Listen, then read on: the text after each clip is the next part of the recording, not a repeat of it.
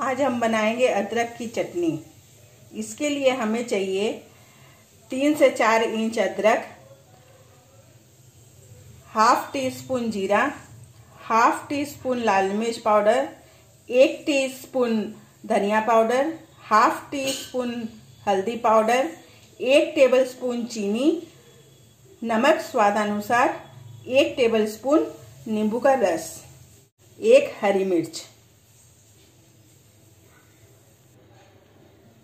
अदरक को छोटे छोटे टुकड़ों में काट लेंगे। अदरक को हमने छील कर धो लिया था। अब इसमें जीरा, धनिया,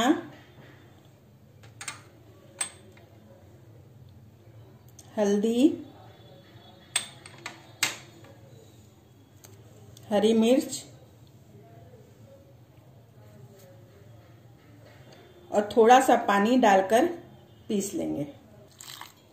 थोड़ा सा पानी डालकर पीस लेंगे। फिर से एक बार इसमें नींबू का रस डालकर पीसेंगे। हमारा अदरक पीस चुका है, अब इसे हम छोंकेंगे। गैस ऑन करें। इसमें एक बड़ा चम्मच तेल का डालें और तेल को गर्म होने दें।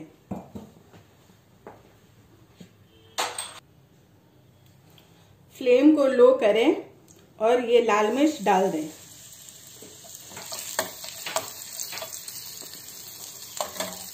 अब ये पिसा हुआ अदरक डालें।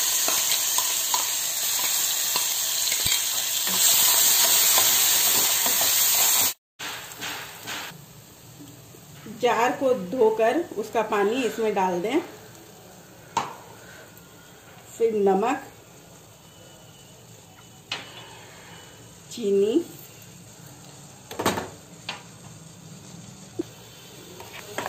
इसको मिलाएँ।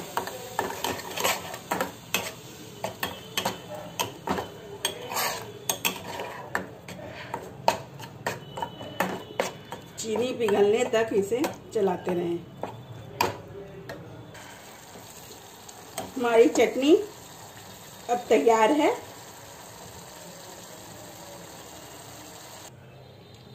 चटनी बनके अब तैयार है। इसे पराठों के साथ या किसी भी चीज़ के साथ सर्व करें। यह खाने में काफ़ी अच्छी लगती है।